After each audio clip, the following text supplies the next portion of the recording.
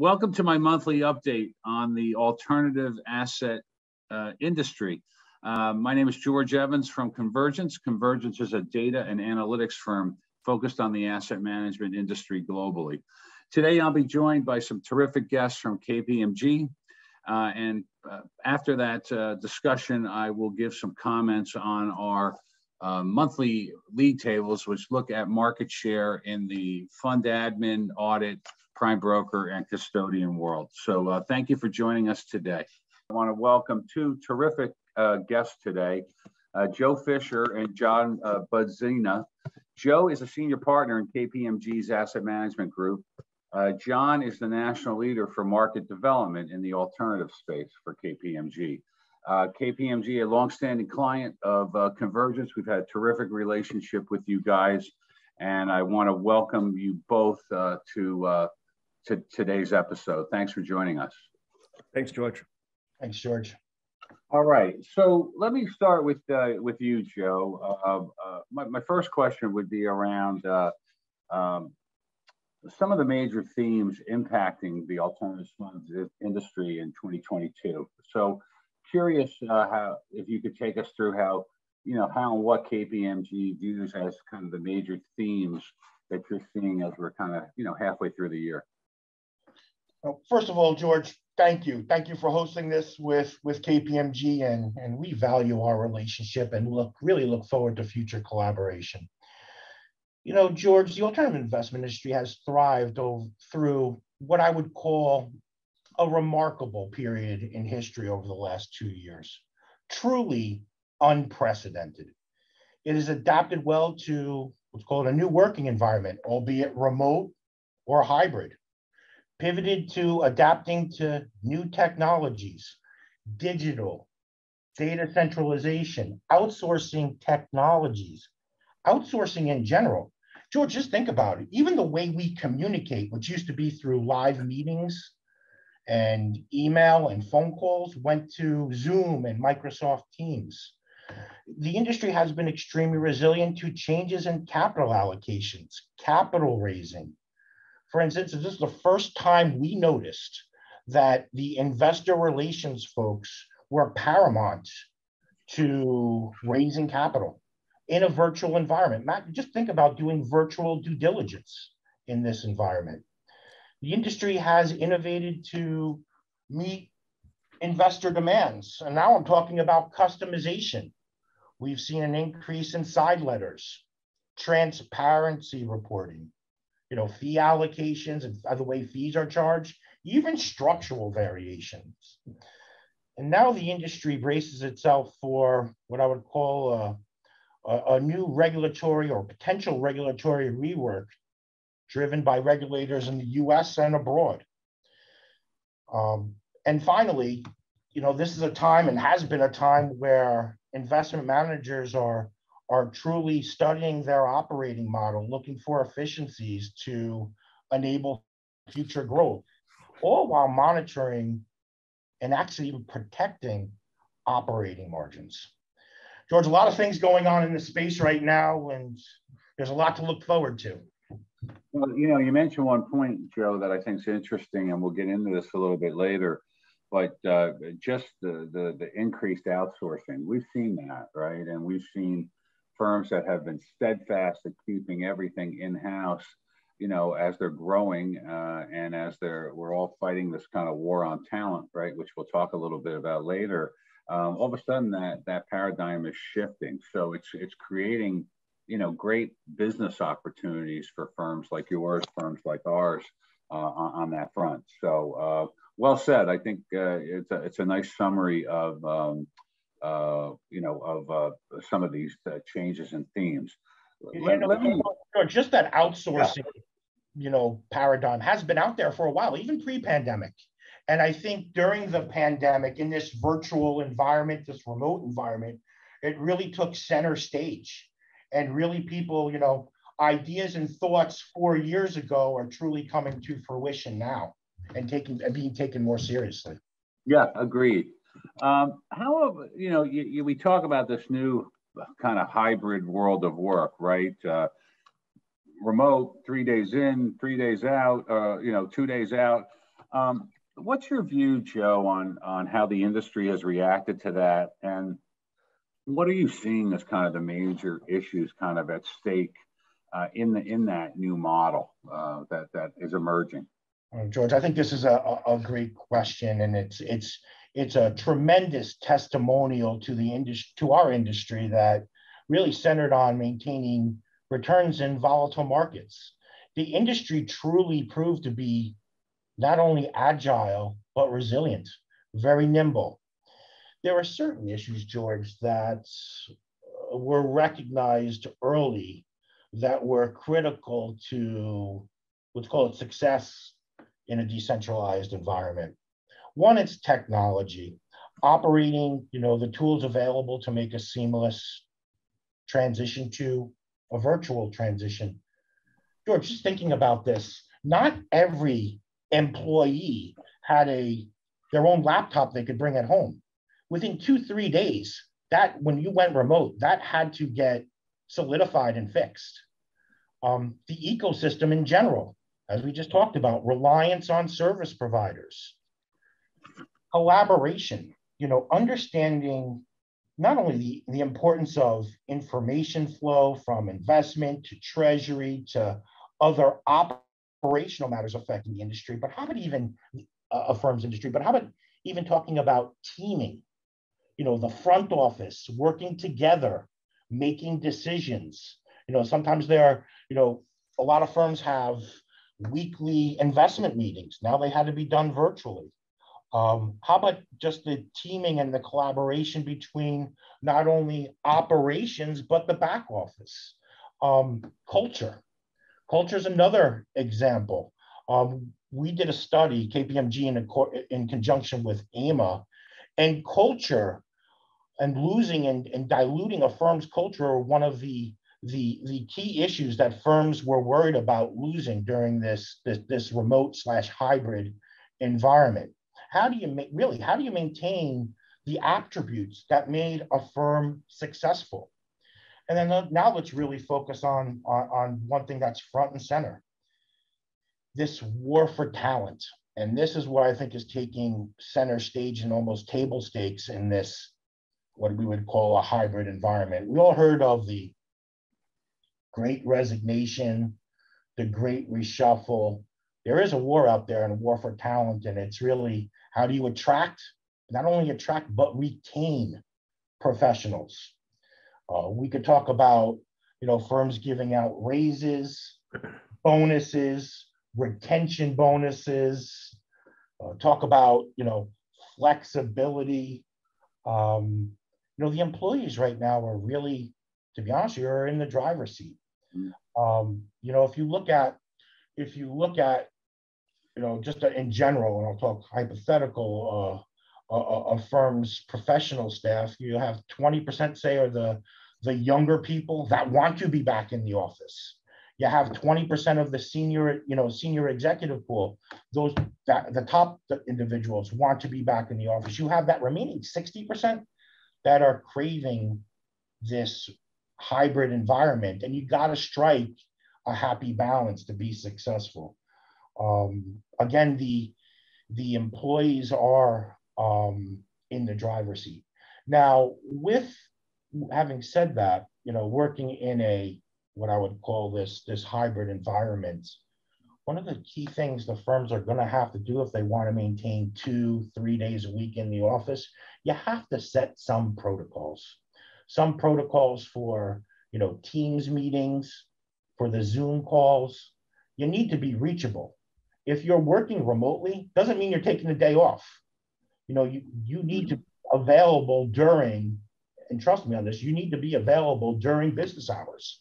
Um, you can't you know respond to an email three hours later. If a client needs something you better be able to respond. So there needs to be some type of protocols even something you know, as simple as during work hours, you need to be on, on Zoom camera.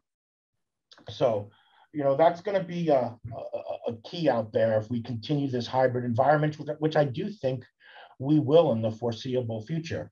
Now, again, I said employees are in the driver's seat. You know, an open question I have, George, really is what happens if there's a recession? Does that pendulum swing back to the middle? Um, and for and I think it, it, it potentially does, and you'll see pe less people potentially reshuffling and resigning. But uh, for their sake, I hope it's not akin to a LIFO inventory system, meaning last in and, and first out. So yeah, just real quick, I'll make a quick point on that um, um, before you finish your comments here. You know, I do think uh, we were talking about that the other day with someone that that pendulum could swing and and uh, uh, with a recession that that that people aren't going to maybe have the latitude uh, that they have today. And, and, I think we see people having different issues. We we have a client uh, who, who's a large fund administrator whose, believe it or not, his problem is uh, everyone assumes this is just the the millennial, right? Uh, their problem is the 42 and three and four year old who's got a beach house right? Who wants to work from the beach house for the summer, right? Doesn't want to come in the office, right? So everybody's got little different uh, challenges, um, but clearly uh, it's it's a the war for talent is is a is a new challenge. Uh, and uh, I, I, think you, you, you know what you've said is, is is spot on. I think this economy could impact uh, you know the the way this plays out over the next couple of years.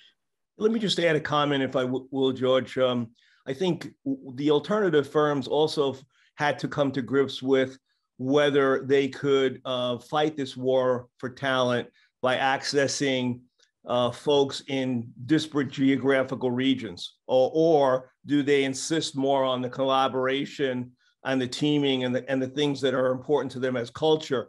And so there's a little balance between um, having somebody who's not close to your home office and hire them. And the other two things we saw is that the demand was in, you know, um, data scientists uh, because of the front office technologies that's been deployed throughout a lot of these firms.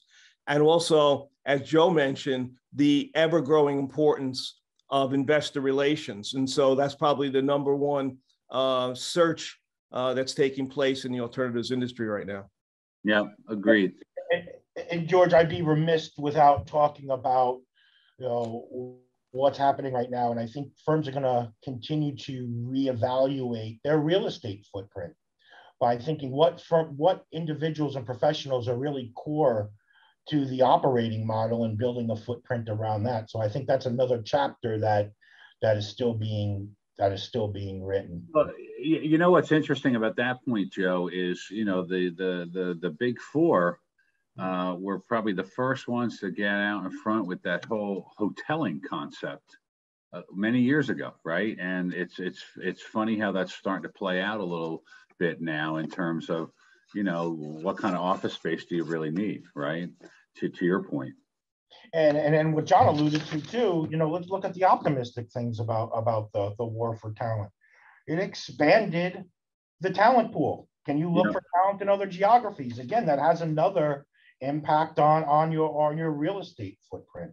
But but to, to, to really summarize, what are some of the, the the the critical themes here in this decentralized environment is really maintaining a firm's culture, and again that is paramount.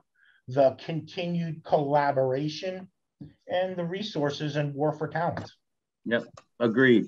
So, so John, in your role, um, and I know you kind of just made a, a, quick point on, on, on one of the points Joe made, but when you think about the, the list Joe kind of put together, in your role, what do you view as the most significant uh, trends that have impacted kind of your, you know, your your day to day?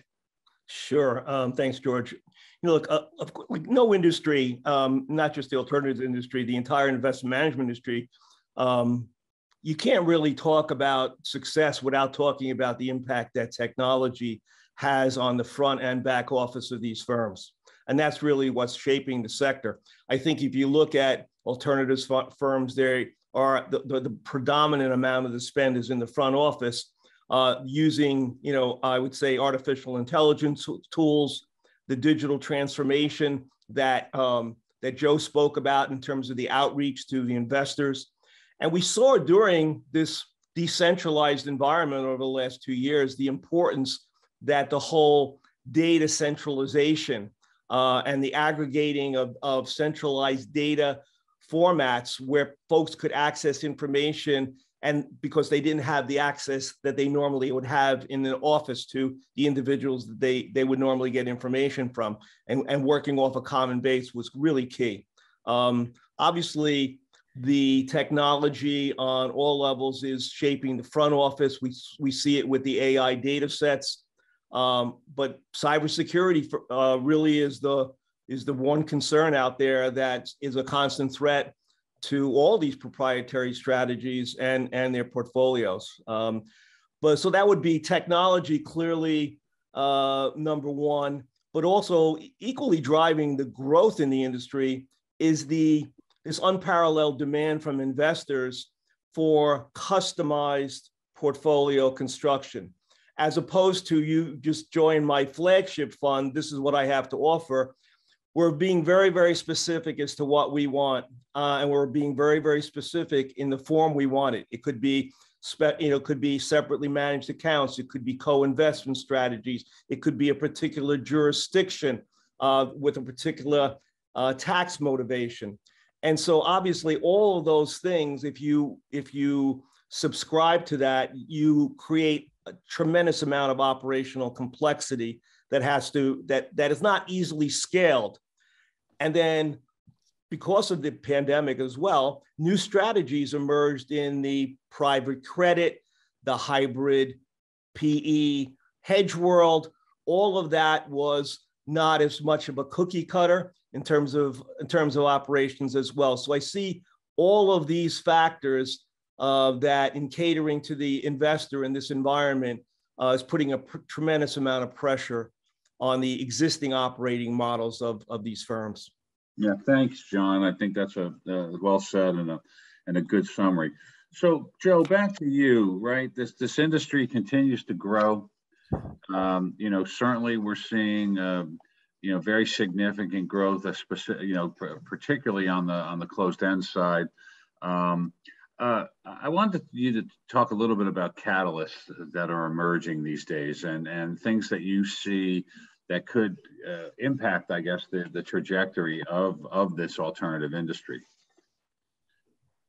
Thanks, George. You know, it, it may be a little too premature to predict, but there are some regulatory headwinds out there that I think will come to manifest itself in some shape or form in the next uh, couple of months. You know, talking about the private funds uh, rule proposal, which talks about quarterly statements and disclosures, annual audits, fairness opinions on secondaries, and, and prohibitions on certain, let's call it preferential preferential treatment of of investors, just to name a, a, a few. This is going to put uh, more more stress on the operating model, uh, specifically compliance and and and operations. You have the dealer rule proposals out there, potential AIFMD changes, and I'd be again remiss to not talk about ESG and ESG guidance.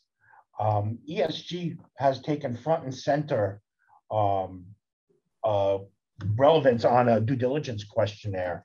And there is a need to have the disclosures and be able to answer those questions, but be able to answer, answer those questions in a truthful and honest manner and not being misleading.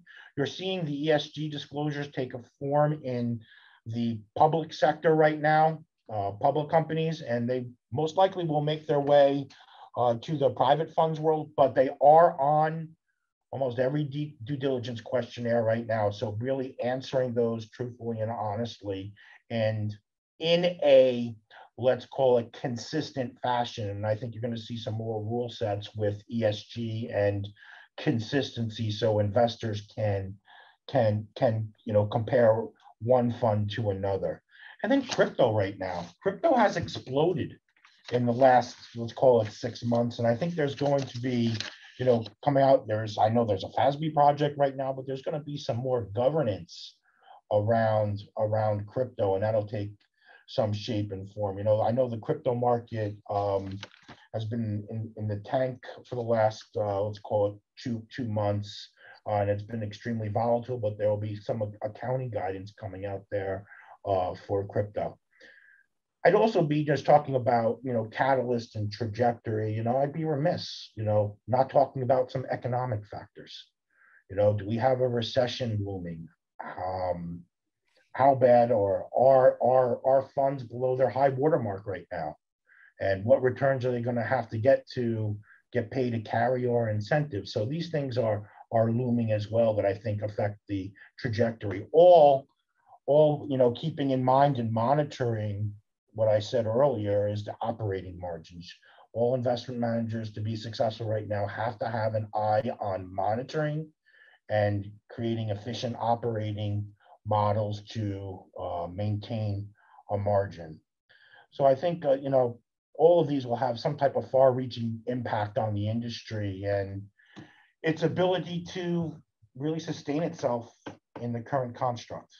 Yeah, I, uh, thanks, Joe. Um, John, uh, just a, a, little deeper dive on some of those comments. I was wondering if you could elaborate on maybe some of the changes you might expect from from you know from your lens. Sure. Um, let me start. Um, look, I, I going back to the business operating model, whether it's the fee compression that we've been dealing with for years, the war for talent that you gentlemen just you know uh, eloquently uh, discussed, uh, the demands for investors that we spoke about, the regulatory headwinds that, that Joe enumerated. I mean, they're, they're on the horizon. Every one of those has constraints on margins. And so while performance has really been healthy over the last couple years, um, these matters that they suggest a sort of a reassessment of the business operating model of the future and, and, and for the industry. So I think uh, folks will begin to look at the lessons learned from the pandemic and carry forward and try to shape an efficient business operating model. Yep. Joe, your thoughts on, on that on those on those few quick comments? No, I, I, I think that John is correct. Um, as with you know all industries, the alternative investment fund industry will really begin its evolution to its own maturity firms out there are going to have to think what functions are core to their success. And I'm talking about keeping inside insourcing and potentially forming joint ventures with technology companies, outsourcing certain functions to the ecosystem, new product development. All this will drive drive innovation. So the I, I do believe this industry, and it's really a, a testament to the success over the last two years has really been agile and, and resilient, nimble, and was able to keep on going. So, all right. Well, well said again. And, uh, you know, we continue to look at the ecosystem, right? Uh, the service provider view, and uh, uh, still in drastic need of consolidation, right? As you guys know, there are over 600 administrators, 500 audit firms, 300 primes, and about 1,400 custodians. So while you have the 80-20 rule, uh, we continue to think ripe for consolidation, ripe for innovation, right? And and uh, uh, so I want to thank you both uh, for joining me. A really good, solid discussion with two uh, real pros in the market. So, gentlemen, uh, thank you, and thanks for the relationship you have with us, and and thank you for for joining me today. Our pleasure, George. Thank you, George. So again, I want to thank our guests from KPMG, and I thought I'd make just some concluding remarks around uh, uh, market growth that we're seeing uh, in the, uh, the, the, service provider uh, industry. I'm going to start with fund administrators. Over the last year, so that would be really um, uh, May to May, right, 21 to 22. We actually on the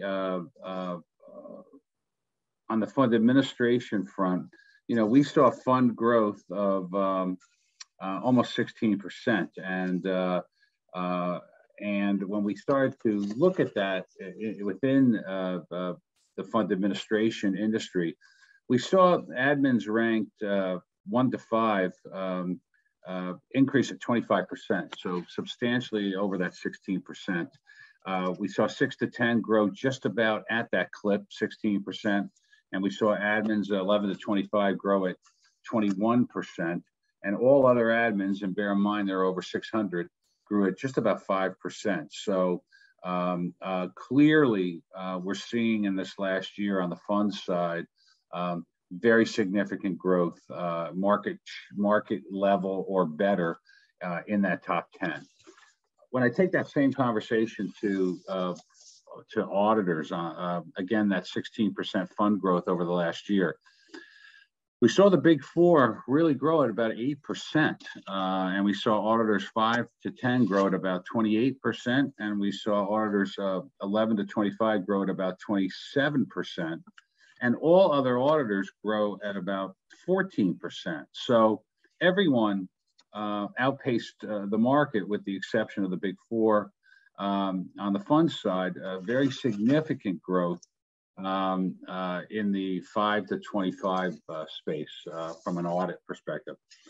When I look at prime brokers and look at that same kind of growth, fund growth, um, you know, we saw prime brokers 1 to 10 growing at a little over 4%, uh, 11 to 25 growing at close to 7%, and all others, um, you know, growing at about 13%. There's a large growth number that's unattributed to certain primes, right? Um, so again, uh, my comment here would be, um, you know, growth at about half the market uh, for that uh, part of the prime uh, uh, industry. And then lastly, I just want to make those same comments about custodians. We saw growth there of close to 15% with uh, custodians one through 10, the top 10 growing at about 11%, uh, 11 to 25 only growing uh, about 1.5%, and all other custodians growing uh, uh, in excess of the market at about 16.5%. So interesting point there